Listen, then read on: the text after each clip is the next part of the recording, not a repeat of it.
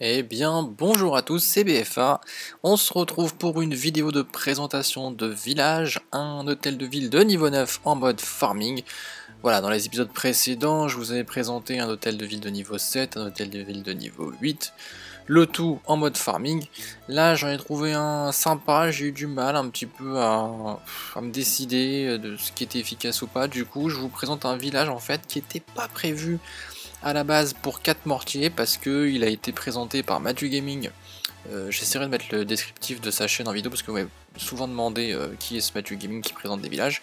Et c'est vrai que pour l'instant je, me base énormément sur lui pour vous présenter des villages sympathiques. Alors là vous voyez en fond le speed building réalisé avec des bâtiments d'hôtel de ville de niveau 9, enfin de niveau 10 mais qui sont pour hôtel de ville de niveau 9, c'est-à-dire qu'effectivement il faut adapter par rapport au niveau des, des défenses qui, correspondent et le nombre de murs par contre ça ça va c'est 250, euh, les pièges, euh, les, nombres de défenses qui vont bien etc. Euh, donc j'ai trouvé ce village là qui me plaisait bien et puis je vous dirai les, les petites modifs à faire pour, pour que ça passe bien avec un quatrième mortier, enfin en tout cas ce que moi je vous suggère. Euh, et que voilà, on verra ce que ça donne. Si vous avez d'autres suggestions, pourquoi pas. Moi, j'ai pas pu le tester parce que vous le savez bien, moi je suis hôtel de ville de niveau 10. Par contre, d'expérience et de, mon passé, j'avais testé des hôtels de ville en niveau 9 en mode farming. Euh, celui-ci est tout à fait dans, le style de ce que j'aime bien, de ce que j'aime bien faire. En tout cas, en défense, ça, me plaît beaucoup. Donc, sans plus tarder, euh, maintenant que le speed building est terminé, on va regarder un petit peu en détail euh, les, aspects importants euh, d'une base en, défense et en particulier en mode farming. Donc on va commencer par regarder les réserves. Et on voit qu'on a, euh, on a des compartiments plutôt en, duo, en duo hors élixir sur les, sur les réserves. Voilà, on a dans le deuxième carré, avant d'aller au carré central, on a des duos euh, réserve d'élixir, réserve d'or, réserve d'élixir, réserve d'or. C'est bien alterné parce que ça, fait, ça fait que quelqu'un qui focus que sur l'or ou que sur l'élixir, bah là du coup il est embêté parce que c'est en algorithme, il y a un de chaque. Et on a le, noir, l'élixir noir qui est bien au centre. Donc ça c'est un, un, gros avantage aussi hein, parce que l'élixir noir généralement c'est rare qu'on ne le protège pas à fond. On en a besoin pour les troupes de labo et on en a énormément besoin pour ces héros et pour aller jusqu'au niveau 40 on sait qu'on a un long long long chemin et donc cet élixir noir il faut vraiment bien le protéger. Alors c'est pas impeccable, hein, il a des défauts, moi je, critique ce village aussi donc euh, les, les, les, les ressources sont pas énormément espacées, c'est le défaut qu'on peut lui donner. Hormis aussi le fait que le nombre de compartiments pourrait être plus conséquent aussi. Voilà, comme je vous ai dit, il y, a en a deux par compartiment et un qui est dédié à l'élixir noir. Donc ça, c'est pas le, pas le top du top. Mais on verra que ces inconvénients sont quand même compensés par pas mal d'avantages, euh, en particulier par les, les bâtiments défensifs qu'on verra après, entre autres Tour de Sorcier et Tesla. Concernant le château de clan, celui-ci est quand même bien centré, avec c'est un, carré qu'on voit souvent dans tel de ville de niveau 9. Souvent, il y a des designs qui commencent comme ça, c'est-à-dire avec un carré où on a euh, élixir noir, château de clan et euh, de chaque côté des, des Archix. Donc c'est le choix qu'il a fait sur cette base-là. Et euh, c'est un choix tout à fait respectable. moi j'ai eu pas mal de designs en HDV9 qui étaient de la sorte. Donc château de clan, il n'y a pas de souci, il est bien centré, on va pas lui retirer de points pour, pour son placement, c'est plutôt, bien à mon sens. Ensuite, concernant les Arkix, comme on l'a dit, ils sont côte à côte, donc c'est le petit léger des avantages, c'est qu'ils sont très rapprochés effectivement, mais ils vont quand même bien couvrir euh, dès que les. Vous voyez, il y a du funneling dans ce, village, il y a des ouvertures euh, à quatre côtés, et effectivement les troupes vont arriver quand ils arrivent au niveau des mortiers, en fait, ils sont déjà sous couverture des Arkix, donc a priori, les Arkix vont commencer à défendre assez tôt.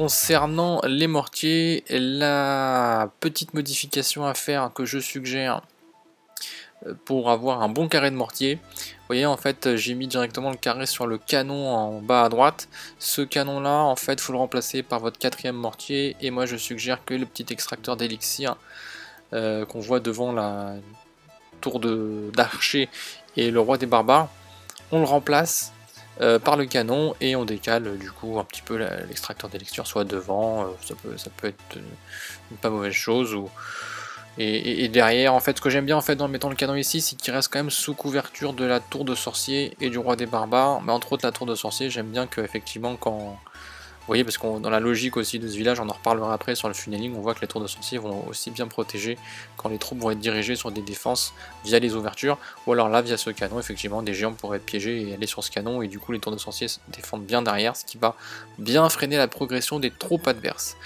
Euh, voilà ce que je suggère pour avoir un bon carré de mortier.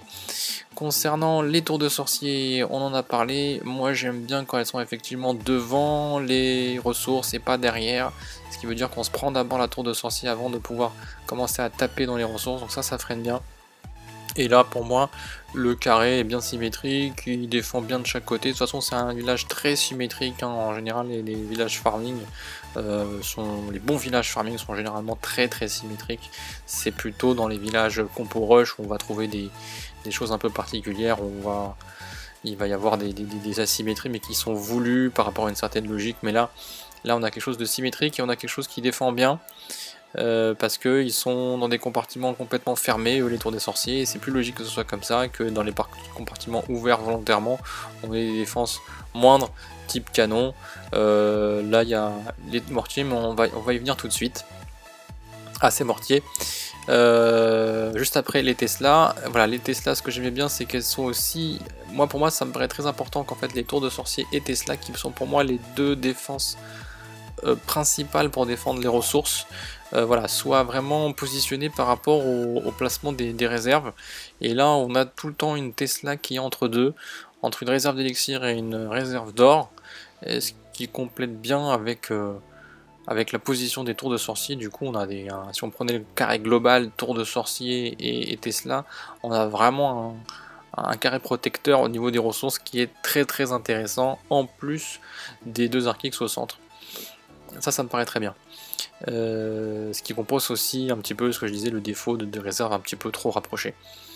Ensuite, concernant les anti-aériens, ils sont, ils sont pas trop exposés, mais ils sont pas non plus hyper centrés. Ce qui veut dire que c'est pas un village euh, top top au niveau attaque farming aérienne. Euh, maintenant, maintenant à vous, à vous de voir, vous farmez aussi. Effectivement, si vous, si vous prenez beaucoup de beaucoup d'attaques au ballon serviteur, Peut-être que c'est un village qui ne sera pas adapté à ce, type de défense là, donc c'est vrai que c'est pas un énorme village anti-aérien. Euh, ils sont pas encore une fois non plus exposés devant le mur, ils sont derrière un canon une tour d'archer à chaque fois. Mais c'est pas le point fort de ce village. Euh, concernant les tours d'archer, les tours d'archer, pour moi, euh, j'ai rien à dire. On voit qu'elles ont un parfait équilibre dans leur position. Hein. On a vraiment un espacement régulier. Et euh, bien sûr, comme d'habitude, les tours d'archer sont généralement positionnés sur les extérieurs le plus possible. C'est un bâtiment défensif de distance. Donc à la fois air et sol. Donc c'est parfait de les mettre comme ça. Et les canons aussi, qu'on va voir tout de suite avec le petit bémol qu'on a vu, vu qu'on va déplacer le canon que j'ai entouré en rouge, en rose, et le mettre à la place de cet extracteur d'élixir. Euh, ça crée, voilà, on sent qu'il y a un petit... En même temps, il n'y en a que 5, hein, donc là, ça, on sent un petit décalage par rapport au côté, gauche. Bon, moi, ça me choque pas plus que ça. Il y a quand même... Il y a quand même deux tours d'archer sur la gauche, il y a quand même la reine aussi sur la gauche, donc on a quand même quelque chose de défensif assez correct. C'est pas, pas, pas en soi un gros déséquilibre. Les héros, les héros, ils sont, voilà, c'est pas non plus le plus sur les héros, ils sont pas parfaitement centrés, néanmoins, néanmoins, ils réservent, ils, défendent une, réserve chacune. En fait, ce qui fait qu'on a un village dans l'approche, j'ai envie de dire, euh, qui qui va empêcher, en fait, c'est un village qui est censé vraiment freiner sur les, premières apparitions de troupes devant les premiers murs, et tout de suite, au niveau du deuxième, en fait, on n'est pas censé passer, quoi.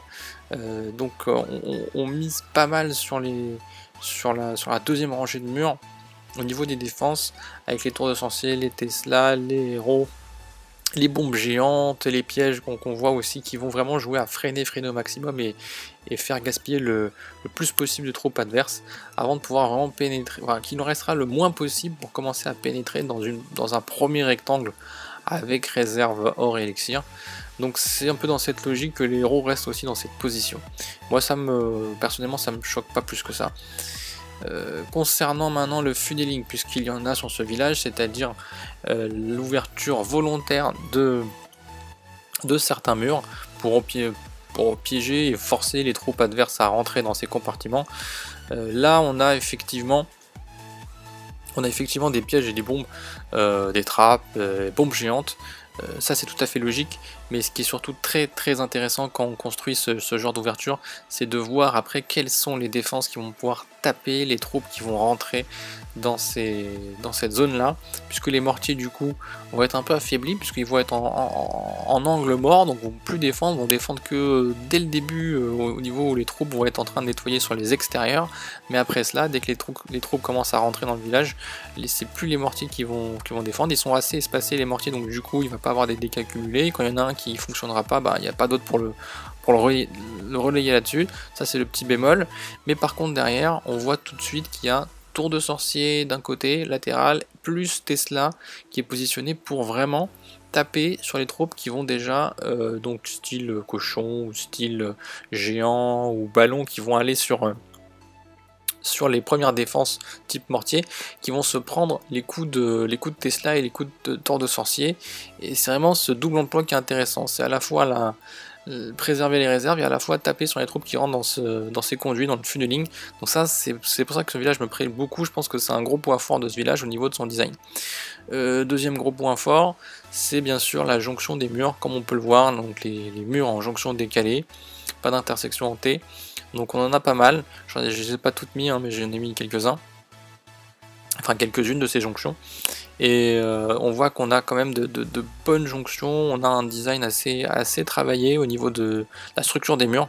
Et ça, ça me plaît bien, et ça, je pense que c'est vraiment un, village pas easy à, démonter. Et, c'est aussi un de ses points forts. Voilà, que vous dire d'autre? Les pièges, on a pas. Après, vous voyez grossièrement hein, les, pièges anti-aériens qui sont plutôt, plutôt en centre. Euh, les trappes à squelettes, si effectivement ne figurent pas sur ce village, moi je conseille de les mettre aussi également au niveau des funnelings, c'est-à-dire au niveau des entrées. Euh, voilà, soit à côté des bombes géantes, soit devant les mortiers. Ça me paraît intéressant parce que du coup, ça va générer des squelettes qui vont encore euh, générer des, embûches qui vont freiner les troupes pour continuer leur progression dès le début. Et, encore une fois, les tours de sorciers et Tesla vont taper pendant ce temps-là, pendant que ces, squelettes euh, servent de tank en fait. Voilà, donc moi je les positionnerai plutôt en ouverture que au centre du village. Écoutez, voilà, pour moi c'est un bon village qui, tient la route. Euh, je vous invite à l'essayer, m'en dire des nouvelles. N'hésitez pas donc à commenter pour me donner vos retours. N'hésitez pas à liker si vous avez apprécié cette vidéo. Et bah écoutez, moi je vous dis à très bientôt, peut-être pour un village HDV10 farming, si on veut continuer dans la lignée, parce que pour l'instant j'ai fait les choses avec logique, en allant HDV7, HDV8, HDV9 en mode farming. Pourquoi pas un HDV10 en mode farming, puisque j'en ai un que je suis en train de tester. Quoique dans Ligue Champions, les choses sont un peu particulières, on vise pas forcément mes ressources. Euh, sinon, je pense aussi à toutes les personnes qui m'ont fait des demandes concernant d'autres hôtels de ville et euh, d'autres modes, c'est-à-dire plutôt rush ou guerre de clan. Voilà, merci à tous d'avoir regardé et je vous dis à très bientôt. Ciao tout le monde